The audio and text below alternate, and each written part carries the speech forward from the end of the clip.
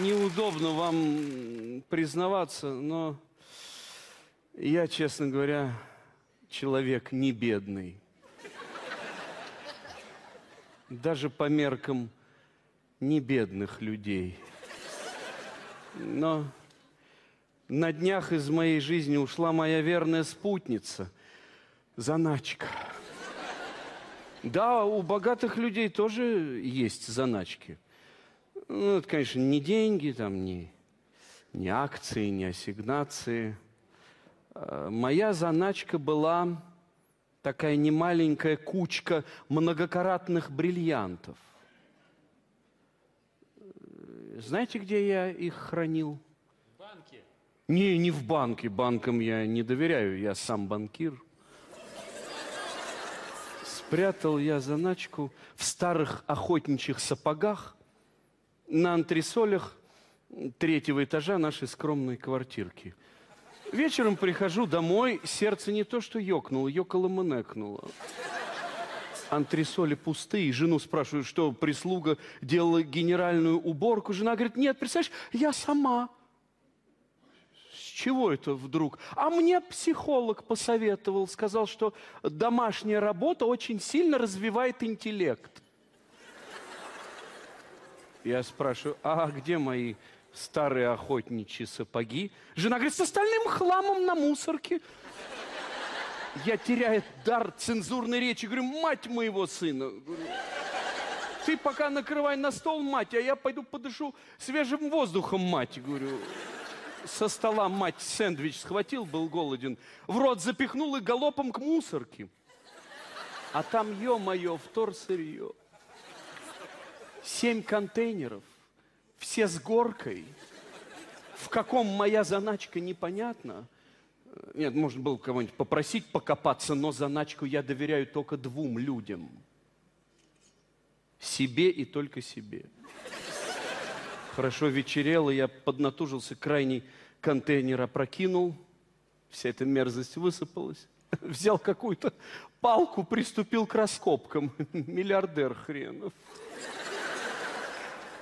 Ковыряю контейнер, заначки нет. Вдруг соседи с нижнего этажа, кучерявый со своей гипопотамшей, театралы, завистники вдвоем мусорное ведро выносят. Увидели меня, ручками сплеснули, говорит, какое у вас интересное хобби, Степан Степанович. А я стою, сэндвич дожевываю. Гипопотам спрашивает, а вы покушать вот в, в этом контейнере взяли, да? Так вот, у нас бесплатно еще чистенькое... Кучерявый этот богемный театрал говорит, дорогая, это действо нужно наблюдать в портере. Побежали за стульями. Настроения, конечно, никакого. Я второй контейнер опрокинул. Откуда ни возьмись, полицейский мне говорит, слышь, бомжар, ты поаккуратней ковыряйся. Насвинячил тут. Ну, я дурака включил, говорю, господин поличмейстер, говорю, ну, что с меня с бомжа взять? Говорю, ну, что с меня взять? Говорю, «Э, хотите, я вам преступников сдам? Вон, варюги мебель выносят, и тут эти придурки со стульями бегут. Ну, поличмейстер и хоп, подбел рученьки в отделение разбираться. Шутка шикарная, но мне не до смеха. Я второй контейнер расковырял, бриллиантов нет. Подбегает ко мне какая-то псина. Давай меня облизывать. Хозяин ей, фу, лорд, не лежи, дурак, сдохнешь. Отойди от этого чучела-вонючела. Я ему говорю, ты на кого, дятел, гнездом шуршишь? а? Мой одеколон дороже твоей квартиры. Хозяин собачки мне говорит, ах, оказывается, это ваш одеколон. То-то, я чувствую, весь квартал задыхается. Действительно фирма. Я ему ничего не ответил, потому что в третьем контейнере заначки нет, настроение совсем никакое. Подходят двое. Не поймите нас превратно, уважаемый соплеменник, но это наша столовая. Отступать некуда, позади три контейнера унижения. Вдруг один бомж мне говорит, а что ты свежий масол топчешь, а? Я не знаю, как у меня это получилось. Я ответил, потому что я вегетарианец.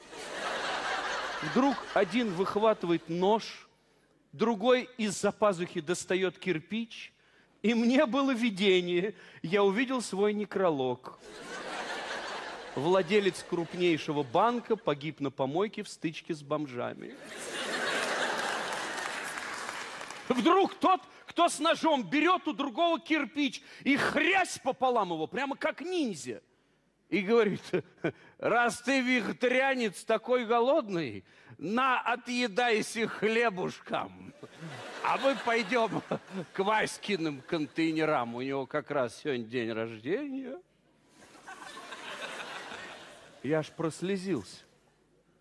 Четвертый контейнер. Нет заначки. Ой. Тут из-за угла выскакивает мой компаньон, в смысле конкурент. Попался, говорит, Степа, три месяца тебя ищу. Когда полста тонн баксов вернешь? Я ему говорю, Володюшка, какие деньги? Ты посмотри на меня. Вован меня взглядом окинул и говорит, слушай, а я думал, ты врал, что бабла нет. Говорит, это же надо же, до чего кризис человека довел, а? Слушай, пожалуй, долг я тебе прощу. И укатил. Стоп, думаю, у кого я еще денег взаймы брал? Может, раз в месяц на мусорке кредиторов принимать? Пятый контейнер, бриллиантов нет. Я прислонился к шестому контейнеру, размышляю о смысле жизни. И тут, откуда ни возьмись, мой сынок. А с ним невеста и ее родители на смотрины. Сын мог бы сделать вид, что он меня не заметил, но от ужаса он произнес роковую фразу.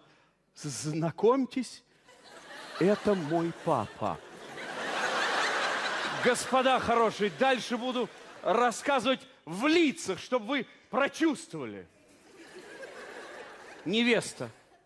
Валера, ты же говорил, что твой папа крутой. А он, оказывается, бомжурик. Мама невесты, и у этого человека я собиралась учиться жить. Папа невесты, дорогая, закатай рукава и учись, а еще два полных жбана осталось. Невеста, Валерочка, что ты имел в виду, когда говорил, что пойдешь по стопам отца? Папа невесты, ягодка моя, всякий труд почетен.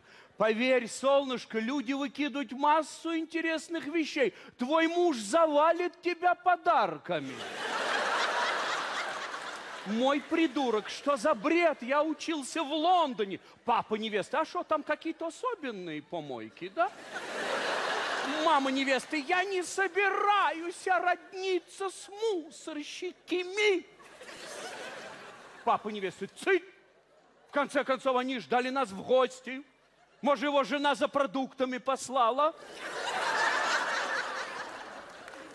Мой придурок, мы покупаем продукты в супермаркете. Папа невесты, ну, ты, Валерко, не прибедняйся. По всему видать, что вы покупаете продукты в гипермаркете. И тут моя финальная фраза. Пошли все вон! Не мешайте работать!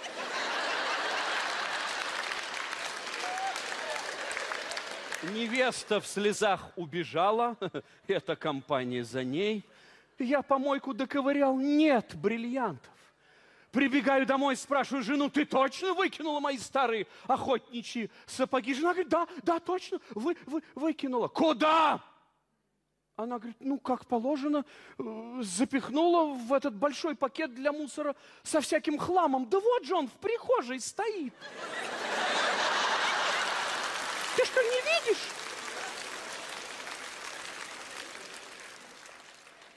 Я чуть зубы не сломал. Ты же сказала, что на мусорку отнесла. Жена мне говорит, еще раз, бриллиант от меня спрячешь? Скажу, что на городскую свалку вывезла.